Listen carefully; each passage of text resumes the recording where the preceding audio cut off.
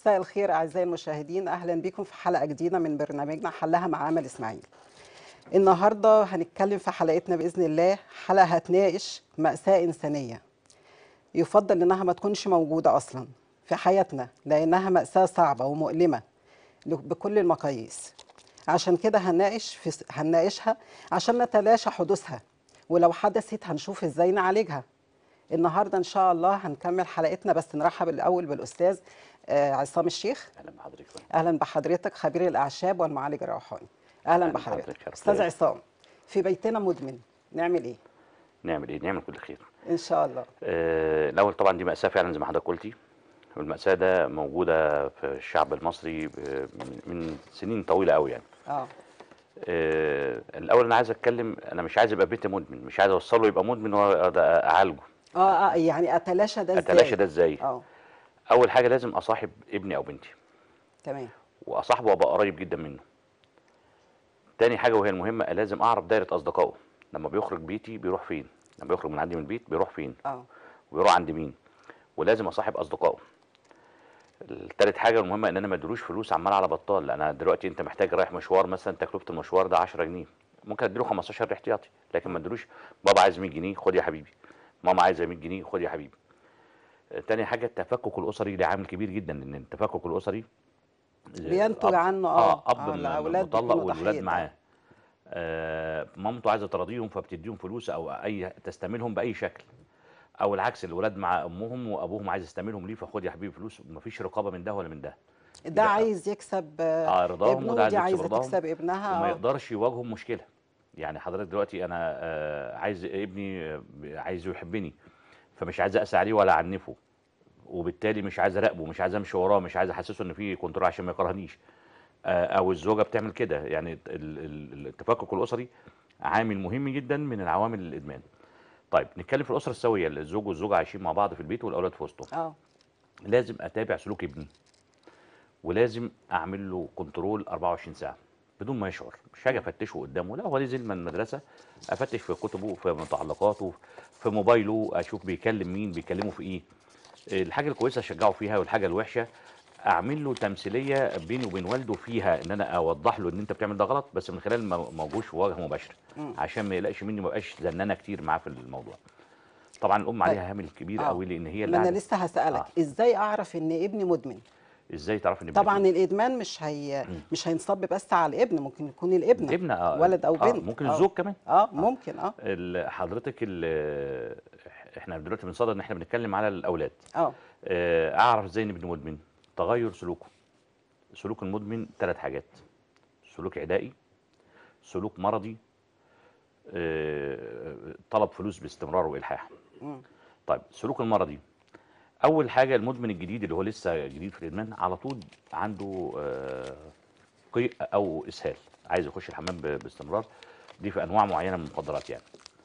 آه، الوجه لازم يبقى شاحب. اللي بياخد بودرة أو بياخد مخدرات. وشه ده إحنا بنتكلم عن مدمن المخدرات ولا عموماً. البودرة ولا عموما المدمن المدمن عموما؟ عموما. المدمن عشان يجيب المادة المخدرة اللي هو بيستخدمها عايز فلوس. آه. طيب ابني لما يكون كثير الطلب للفلوس يبقى وراها سبب. وراها سبب. ما ادلوش الفلوس خد بيقول ماما أنا عايز أنا باخد درس في الحتة الفلانية بقد كده. إيه المشكلة لما أروح معاه عند المدرس وأعرف المدرس ده بيديله؟ وبعدين ما ينفعش إن ابني يختار مدرس ويروح له لوحده. لازم أنا اللي أشوف المدرس الكفء المدرس الأمين وأنا اللي أوديه المدرس. ما تجيليش أنا أصل أصحابي بيبقى عندهم مدرس كويس دي أول نقطة. آه. لأن أنت هتديله فلوس الدرس ده هياخدها على طول يشرب بيها أو يش- يشتري بيها لازم يبقى في متابعة. لازم في متابعة. أنا اللي أجيب له مدرس أنا أو باباه. المدرس الموثوق فيه. اللي أنا ممكن أتصل عليه في الحصة آه، أو في الوقت ال- التايم بتاع الدرس آه، ابني عندك؟ آه موجود. طب ممكن أنا بس أسأله سؤال. أطمن إن هو عنده. حبيبي مفتاح البيت فين؟ أختك راح آه، أي سؤال إن أنا أحسسه إن أنا متابعاه. ما ينفعش أسيبه كده يروح الدرس يقعد 3 4 ساعات في الدرس إنه الدرس مدته ساعة مثلا. طب أنت كنت فين؟ لما يجي البيت آه، بشوف سلوكه. هل هو سلوكه بقى عدواني؟ هل هو بقى إنسان سوي معانا طبيعي زي ما هو؟ إذا اتغير عن طبعه اللي كان معانا اعرفي تماما إن في يا شلة سوء يا في مخدرات. يعني ولد مصاحب ناس آه، على رأي الفيلم الليمبي مصاحب علي علوكه وما أعرفش مين يبقى آه، لازم الأول أشوف دايرة أصدقائه. آه أتابع. أتابع. آه. طيب أنا عايز أعرف هو فعلا ده مدمن ولا لأ؟ والله مش عيب ابدا بتحليل ب 150 جنيه آخد ابني لأي معمل وأحلله تحليل مخدرات. تحليل المخدرات بيظهر إن عنده إيه بياخد إيه؟ مخدر. وما استناش إن الحاجة تتفحل. يعني أنا أول ما أشك أجري بسرعة أعمل تحليل مخدرات لابني. مش شرط إن أنا أقول له تعالى أعمل لك تحليل مخدرات لأن هيرفض يروح معانا. بابا في فيروس كورونا في الجو دلوقتي تعالى نحلل كورونا. آه، في آه، أمراض وراثية إحنا عايزين نعرفها اتنقلت ليك ولا لأ. أي حجة إن أنا ما أعرفوش إن أنا رايح أعمل له تحليل مخدرات. أكون متفق مع المعمل اللي أنا رايحه له إن أنا هعمل كده. طب صفات وعلامات المدمن إيه؟ ما أنا قلت لحضرتك الشحوب الوجه لا يعني أعرف إزاي إن كان هو مدمن ما أنا مخدرات بقول لحضرتك بودرة. لا. بيبان على آه، على آه، على مدمن شكله. البودره آه، مميز شوية عن بقية ليه البودرة غالية. آه. وبيعمل إيه؟ بتلاقيه آه، آه، آه، تصرفاته آه، دايما في سيلان في الأنف. على طول بيشن زي ما إحنا بنقول بالدارج كده بيشن. آه. آه، سيلان عنده برد يعني. سيلان الأنف. آه، آه، هرش دائم. آه، هتلاقي الكلام ده في ميعاد هرش دائم وهو واخد الجرعة ولا وهو في الفترة. اللي ما بي... آه. حتى وهو واخد الجرعة لأن الجرعة مدتها ساعة ساعة ونص. مم. بعد كده بتلاقيه عايز ال- الجرعة. آه. فبتلاقي فيه هرش في جسمه باستمرار خصوصا منطقة الأنف ويا يعمل كده كتير أيوه صح. يا يا في رشح. مم. ده على علامات البودره آه، في حاجة تانية اللي هي شائعة قوي في منتجع مصر دلوقتي الترمادول الترمادول اللي تلاقي دايما مريض الترمادول آه، ظهره محني على طول مصدع على طول عظمه بيوجعه. دايما بيشتكي إن أنا عندي صداع عندي عظم بيوجعني آه، مش قادر أصل طولي زي ما بيقولوا. يعني بيميزوا عن ال- ال- ال- ال- البودرة إن هو مش قادر يسلط طوله. في ملحوظة مهمة جدا عايز أوجهها لكل إخواتي وكل أصدقائي وكل الناس. آه المدمن بياخد الأول أيامه للمخدرات للشهوة والنشوة. بعد كده بياخدها للعلاج. يعني في الأول هو خدها بقى منتشي وبقى عنده أنا لسه كنت هسأل آه. حضرتك هو ال- المدمن ليه بيلجأ للترامادول؟ آه بعض الناس بيحس بإيه آه يعني؟ آه هقول لحضرتك. الترمادول آه هو أصلا بيتصرف برشته طبية على إنه مسكن للالام مم. ومسكن قوي للالام المسكن الالام ده كان المريض العمليات خصوصا عمليات العمود الفقري. يعني هو بيكتب أساسا لمريض العملية العمود الفقري والعمليات اللي بتتعمل في العمود الفقري. ده بيخليه عنده قوة تحمل أكتر عنده آه، آه، آه، سهر يقدر يسهر يواصل سهر يومين سهران الكلام ده. الكلام ده في الأول بس. آه. بعد كده مش هيقدر يصلب طوله من الألم اللي في ظهره لأن هو علاج فإحنا خدناه علاج لا يصرف إلا برشته طبيه بالملي جرام أنت هتاخد 200 ملي 300 ملي على على أسبوع. يعني النهارده تاخد 50 جرام مثلا. الدكتور هيقول له أنت ليك نص حباية ليك حباية تمشي عليها لمدة كذا. طب أنا لما باجي آخد جسمي عمل مناعة عليها فأنا كنت باخد حباية. عايز آخد اتنين عشان آخد نفس المفعول. مم. بعد أسبوع جسمي عمل مناعة تاني للحبايتين فعايز آخد ثلاث حبات وهكذا. وكل يوم تزيد الجرعة عن ال- يوم آه. تزيد ال- آه، الجرعة. آه. آه، آه، اولا الترمادول بيسبب ل آه، بيدمر الأعصاب. الأعصاب اللي هي يعني ما بقاش عنده بتلاقي مهتز دايما. دايما ظهره ألم شديد جدا. سبحان الله الألم اللي معمول له عشان يتاخد ليه الترمادول الترمادول بيجيبه. طب هو عشان كده بيرفض العلاج؟ يعني بيرفض آه، انه يتعالج آه، عشان ما ما يحسش بالألم ال ده؟ ال العلاج ال- أعراض الانسحاب مؤلمة جدا في أول ثلاث أيام. مم. وإذا المريض ما عندوش قابلية للعلاج ما تدورش ما, ما تعالجوش. أنا اللي بقول لو هو مش مش قابل لازم يكون في من استعداد نفسه نفسي. من نفسه. لأني اولا اللي بيقول لك الت- ال- ال- الأعراض ال- الأعراض هي في في ميعاد الجرعة. يعني مثلا أنا كنت باخد الساعة 12 بالليل مثلا الجرعة بتاعتي. الساعة 1 2 3 بقى عندي آه، آه، شدة أعصاب وأنا تهيأ لي كده إن أنا لو ما خدتش جرعة هيحصل معايا كده. هو في ألم مش مش هنكر عشان ما اسهلش الموضوع الناس يقولوا انت لأ. في ألم. بس الألم ده هستحمله النهارده هستحمله بكرة. فنداء لكل إخواتي وكل أصدقائي اللي مروا بالتجربة دي. فكر لحضرتك بس لحظة إن أنت مش عارف تجيب البودرة. ذلك إن أنت وأنت بتتذل عشان تجيب ال- ال- الفلوس اللي هتجيب بيها البودرة أو المخدر. شوف ذلك ده وشوف أهانتك. في واحد باع بنته. يا في و... آه والله العظيم باع بنته. ما- اداها لتاجر المخدرات آه، اعمل اللي انت عايزه واديني الجرعة. عشان ياخد الجرعة. في واحد سرق بيته في واحد باع عفش مراته في واحد آه، سرق آه، جهاز اخته في أكم من الناس فنداء لكل إخواني المتعاطين المخدرات إن هم يفكروا في اللحظة اللي كانوا بيدوروا فيها يجيبوا فلوس إزاي. أنا بتكلم للناس اللي هي أدمنت وبتتعافى. أو اللي لسه مدمن. فكر في انت النهارده ده المدمن عنده مشكلة سوداء وهو رايح يشتري المخدر النهارده ما بيفكرش في اللذه اللي هياخدها ده بيفكر بكرة هجيب منين؟ هيجيب إزاي آه. فنداء لكل الإخوة المتعاطين المخدرات فكر في اللحظة اللي انت بتحاول تجمع فيها فلوس بأي شكل عشان تجيب مخدر. فكر في الخطر اللي بيحيط بيك وانت رايح تشتري مخدر من الحد اللي انت بتتعاطى منه. بيكون كل تركيزه يتفنن إزاي ياخد آه. منك فلوس. وعبقري كذب. جدا آه. وعبقري اختراعات بيخت... كل يوم يخترع ويقنعك. مم. نصيحة تانية مهمة جدا. اوعى يصعب عليك مدمن حتى لو أبوك حتى لو ابنك اوعى يصعب عليك لأن انت لما يصعب عليك وهتديله فلوس هتساعده انه يروح يضرب تاني. بالظبط. لا استحمل واقسى عليه مرة واثنين وثلاثة لما بعد كده انت تسد الباب في وشه ده يسد الباب في وشه هيجيب منين؟ لازم هيلاقي له ردع لازم يقف. آه مفيش بيت ما فيهوش مدمن النهارده. ال- ال- إحنا اولا على فكرة إحنا مستهدفين جدا من الغرب. إحنا ارخص بلد فيها مخدرات. ما هي دي الحرب ال- إحنا السلسة. ارخص بلد فيها مخدرات. آه. إحنا أكتر بلد فيها مخ- المخدرات دليفري دلوقتي يا فندم بالتليفون بيجي لك لحد البيت. تنزلي السبت تاخد مخدرات. في أي مكان منطقة شعبية منطقة نائية المخدرات تحت الشباك بالبلكونة نزلي السبت يطلع لك المخدرات. مم. بسم الله ما شاء الله. فاحنا شعب مستهدف. فاحنا ما نديش فرصة لعدونا بسلبيتنا. إن إحنا نطنش. طب وإيه يعني وفلان بيشرب؟ وإيه يعني؟ لا. ده ده مدمر مستقبل ابني لو سكت عليه النهارده. لو النهارده مستقبله صحته. كل ما هو مستقبله الشمال كله. مم. فنداء لكل الأمهات وكل المسؤولين عن رعاية طفل أو شاب آه، أو حتى راجل كبير ما يصعبش عليا ابدا. ما هو حتى في رقابة بتبقى في الشغل برضو بيحللوا لهم. تمام. الرقابة على ال- السواقين. بيحللوا لهم. بس برضو ما تعرفش آه، بس عايز أقول لحضرتك على حاجة. من يوم ما عملوا رقابة على السواقين قلت الحوادث؟ قلت قل الحوادث التعاطي لأن السواق عارف ان ده مصدر عيش وهيتقطع. هيتقطع مش طيب. هيلاقي يجيب أنا بقول لهم بس معلومة صغيرة جدا.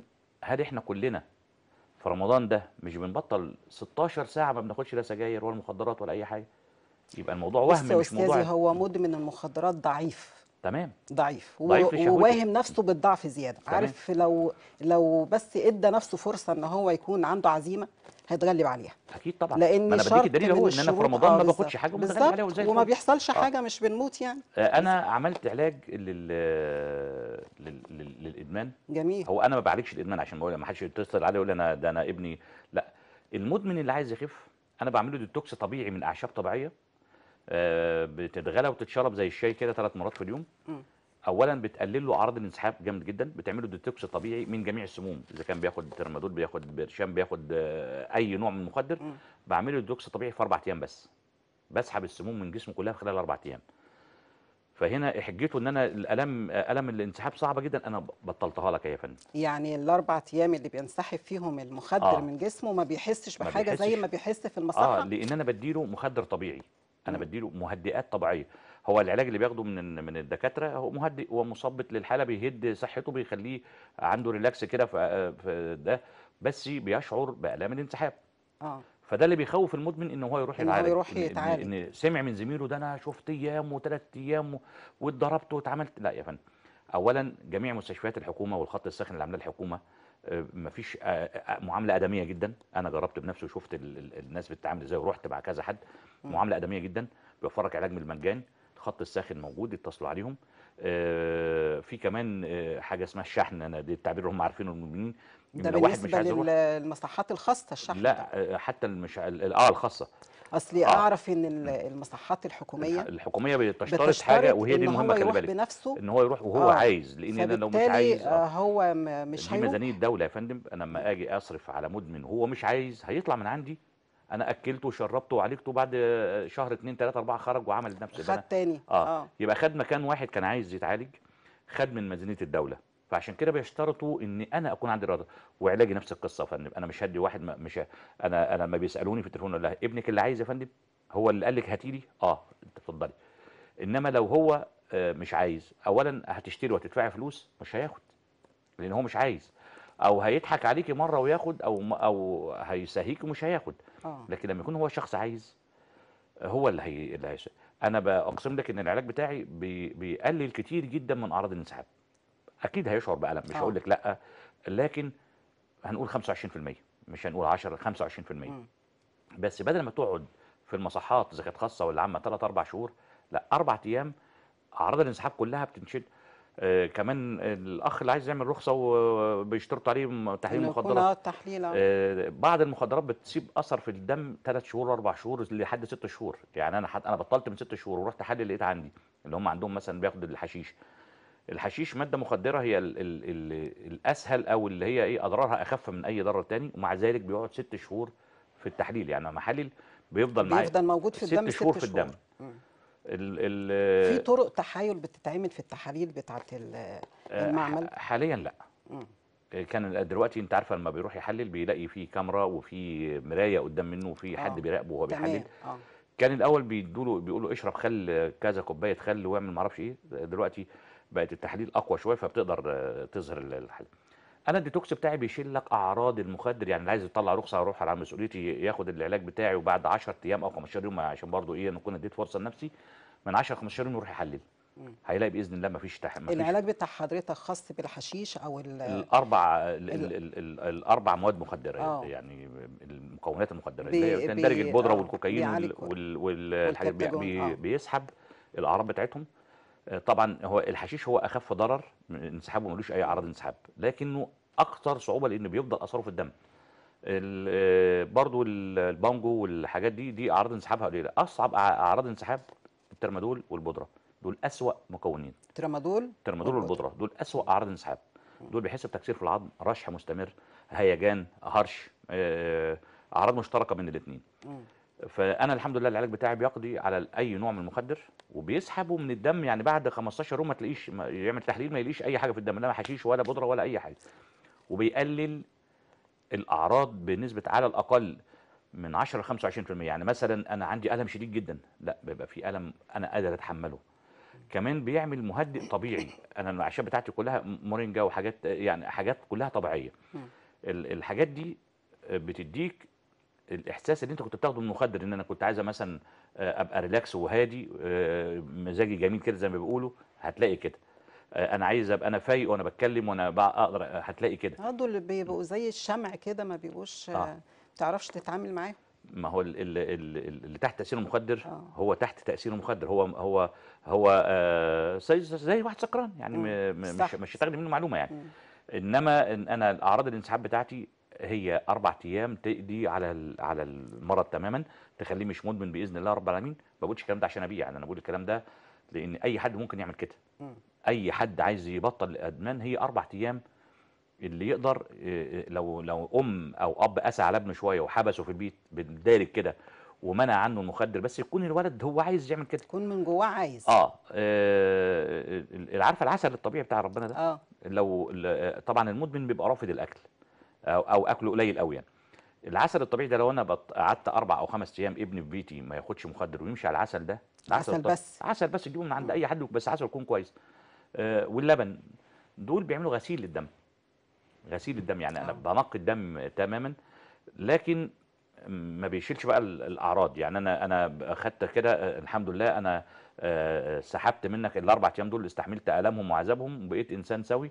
لكن لما أروح أحلل هلاقي نسبة المخدر في الدم لسه موجود. آه. طب إمتى يا أستاذ؟ اتفضل. بعد إذنك. اتفضل. إمتى؟ أت- بعد فترة قد إيه؟ أتأكد إن خلاص ابني خرج من الإدمان ومش هيرجع له تاني. هقول لحضرتك على حاجة. للأسف ملهاش وقت. مم. أول حاجة الصحاب. أمنع له دايرة صحابه اللي كان اللي بيجيب منه. رقم تليفونه ده أشيل التليفون منه لأن المدمن أول ما بيلاقي الديلر بتاعه على الرقم بيتصل بيه بيحن. بيحن. في ثواني. بيبقى اكني اكني عامل له تنميه مغناطيسي وارجعه لحالة تاني. مم. التليفون لازم يتغير. تليفون يفضل مفيش تليفون أساسا. لو همنعه من الشارع فترة شهر مثلا ان أنا بقويه فيها. وإن أنا دايما اسجل له فيديو وهو آه، في الحالة السيئة دي.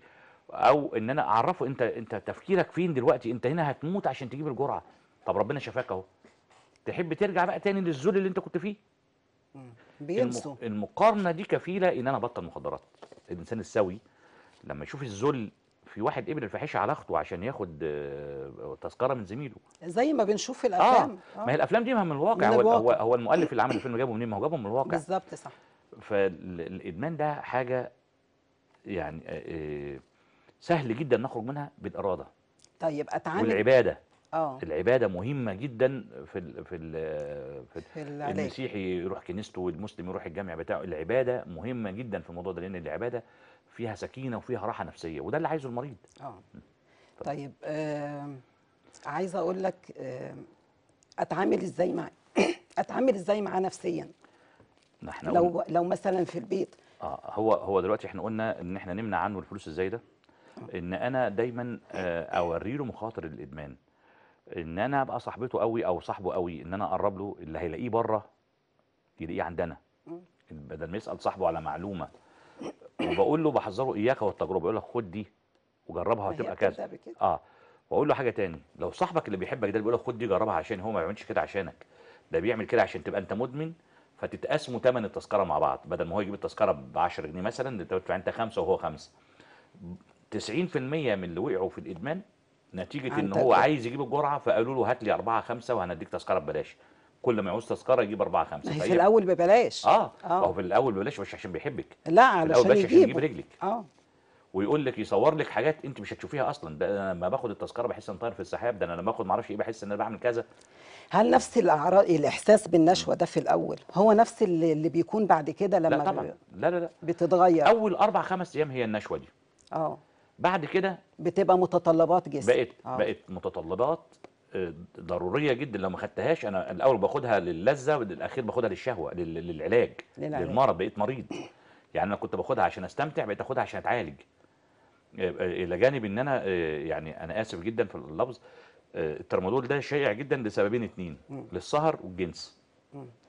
طيب ما أنا عندي حاجة رباني وببلاش أرخص من كده بكتير وقانونية جدا جينسنج اشتري في جنسانه 500 من الصيدلية وفي جينسنج الكوري من عند العطار أو الجينسنج الأمريكي من عند العطار.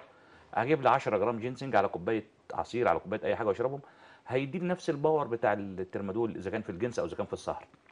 حاجة حاجة اسمها شرش زلوع حاجة اسمها نبات اسمه الحسكة. حاجات كلها موجودة عند العطار ببلاش كلام فاضي. يعني جرام الجينسنج النظيف ب 4 جنيه أو ب 5 جنيه. لو أنا جبت جمعت حق ال- البرشامة جبت لي جرامين آه، جينسنج أو 10 جرام خليتهم عندي نص جرام قد كده على كوباية مية. هيديني نفس الإحساس الجنسي اللي كنت باخده هيديني نفس إحساس ال power اللي كنت باخده. وبعدين ما بيديلكش الجسم ما بيعملش عليه مناعة. إنما أي مخدر الجسم بيعمل عليه مناعة. محتاج تزود الجرعة تزود الجرعة تزود الجرعة. في ناس بتاخد شريط تريمادول عشان يديله إحساس حباية اللي كان بياخدها الأول. بدايتهم حباية و... الآخر وختمت. آه ب- في بشريط ناس بتوصل للشريط كامل تسفه مرة واحدة عشان يديله إحساس الحباية تأثير ده تأثير ده على ال- جهاز العصب الجهاز بي- جهاز العصب الهضمي بيتلف. لا والجهاز الهضمي إيه؟ كلى؟ والكبد كلى؟ وك... كلى راحت كبد تشبع بالسموم. مرة تشبع بالسموم. آه ه- هذلان خلاص مفيش آه المدمن ده قولوا له يعمل أي مجهود مفيش مفيش أي مجهود. فكريه في أي حل في أي حاجة قضية أنتوا بتناقشوها مفيش مش هيقدر يعمل معاك أي حاجة. هو تفكيره منصب إزاي أجيب فلوس وإزاي أجيب ديلر آمين إن أنا ما- هو ما بينام. ويصحى عايز يفكر إزاي هجيب فلوس. تفكيره 24 ساعة في حاجتين اتنين بس. ديلر؟ كويس آه. يديني حاجة مش مغشوشة. آه، أهرب إزاي من الحكومة أجيب فلوس إزاي؟ دول تفكير ما فكرش في أي حاجة غير كده. وما عندوش وازع ديني وازع أخلاقي ما فيش. هو كل تفكير مغيب. بقى عبادته لا المغيب ده أمره سهل. لا ده عبادته ال- الفلوس. أجيب فلوس إزاي؟ نصيحة لكل أم وكل أب فلوسكم لاولادكم بحساب رادع. ما يصعبش عليا. ما, ما تعاطفش معاه. طب ده يا أستاذ عصام بالنسبة للي هو لسه بياخد مصروف طب اللي بيشتغل؟ ما هو نفس القصة. ما هو اللي بيشتغل مين هيبقى رقيب عليه؟ هو رقيب على نفسه وأسرته. هو لو أنا- أنا رقيب على نفسه حضرتك خد. حضرتك ما هو آه، دلوقتي أنا أنا هو بشتغل وأنا متجوز. عندي زوجة. تهدده يا إما أنا أسيب البيت آه، يا إما أنت تبطل تختار لك طريق يا أنا يا البيت. ما تعطفش معاه. آه، ال- اللي بيجيب بنفسه ده أهون ضررا شوية من من اللي هو بياخد من بابا وماما أو إن هو لأنه ده. اللي بيلجأ للسرقة آه. بعد كده. الله ينور عليك. اللي بيجيب أهو شايل مسؤولية نفسه. آه. بس ده برضو أصبح عضو فاسد في المجتمع لازم بتره أكيد. آه لأن هو, هو عشان يجيب منتج. هي حد هيشوفه هيقلده هيعمل حاجة زي كده. لا إحنا مش عايزين كده. إحنا عايزين إحنا بنتكلم على العمام ان أنا بحفظ النشء. اللي كبر ده آه، يعني مسؤول عن نفسه. مسؤول عن نفسه. إنما أنا بتكلم عن النشء اللي إحنا نلحقهم دلوقتي. النشء الصغير عشان ما يبقوش كده. آه الطالب اللي في إعدادي والطالب اللي في ثانوي ده آه، لازم أنا دول دول ذخيره المجتمع دول الثمرة بتاعتنا. لازم نحفظهم من دلوقتي اللي أنا بالوقاية اللي هي الوقاية خير من العلاج. الوقاية إن أنا ما اخلوش يروح بالسكة دي الأول. دايما أحكي له عن الحاجات دي وأوري له الضرر. بص يا حبيب قلبي هو اللي جاي يديك الحاجة دي مش عشان بيحبك ده عشان يستفيد منك فيما بعد ويخليك زيه. آه، إحنا زمان أول ما كنا لسه صغيرين كنا السيجاره دي تخليك راجل؟ اشرب احسن يقول عليك مش راجل. طب وأنت إيه وجه الرجولة في السيجارة؟ آه. ما فيش. هي السيجارة من إدمان؟ كده. السيجارة إدمان. السيجارة تعود وأنا قلت لحضرتك في أول حلقة إن في رمضان إحنا ما بنشربش سجاير ونبقى آه. كويسين جدا. بس بعد الفطار كله عشان هو عايز المغرب كله. هو عايز كده. لكن مش إدمان. لا لا ما فيش إدمان. السيجارة عبارة عن نيكوتين. النيكوتين على فكرة النيكوتين ده مفيد مش مش ضار. آه. النيكو- النيكوتين ده بيعلي الادرينالين في الجسم بس بتاخده من مصادر طبيعيه مش من آه. من مصادر آه، زي ده. يعني النيكوتين ليه ليه الناس بت- بتلجأ للسيجارة؟ مادة النيكوتين فيها مادة آه، بترفع الأدرينالين في الجسم شوية. النيكوتين. آه، فبتهدي الحالة لو أنا عصبي أو أنا ثائر أو الكلام ده بتهديها. إنما ما هياش إدمان مش مادة مخدرة إن أنا بدمنها لأ. أنا ممكن أعمل نفسي استثارة طبيعية من غير أي من غير أي حاجة زي كده وآخد حاجات طب دايما نلجأ للحاجات الطبيعية. أنا عامل العلاج بتاعي للتدخين يعني عندي حاجتين حاجة للمخدرات وحاجة للتدخين. أنا. عامل مشروب تشربيه تيجي تشربي السيجارة بعد كده تحس طيب طعم إحنا عشان وقت- وقت الحلقة هنكمل الحلقة الجاية إن شاء الله وبستأذنكم النهارده. معلش نكمل حلقتنا الحلقة الجاية وإلى اللقاء في الأسبوع القادم بإذن الله.